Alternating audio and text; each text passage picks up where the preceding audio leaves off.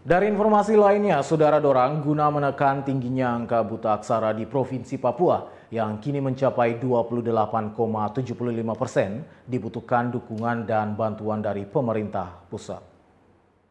Hampir sebagian warga di Papua masih belum mampu mengenal huruf dan membaca dengan jumlah warga yang buta aksara mencapai 28,75 persen. Hal ini membuat Provinsi Papua menjadi provinsi kedua yang tinggi angka buta aksara di Indonesia.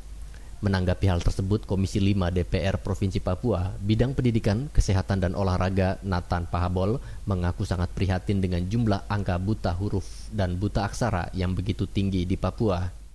Khusus pendidikan, itu buta huruf di Papua itu urutan kedua.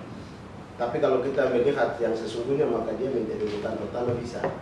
Karena memang budaya di Papua yang namanya budaya membaca itu adalah budaya baru di Papua itu budaya menulis dan membaca adalah budaya baru di Papua sedangkan di Papua punya budaya itu budaya bicara itu kita punya tapi yang namanya menulis dan membaca itu budaya baru dengan kondisi yang terjadi, dirinya berharap agar semua elemen dapat bersama-sama bekerja dengan hati guna memberantas tingginya buta aksara di Provinsi Papua. Cornelia Mudumi, E-News Jayapura, memberitakan.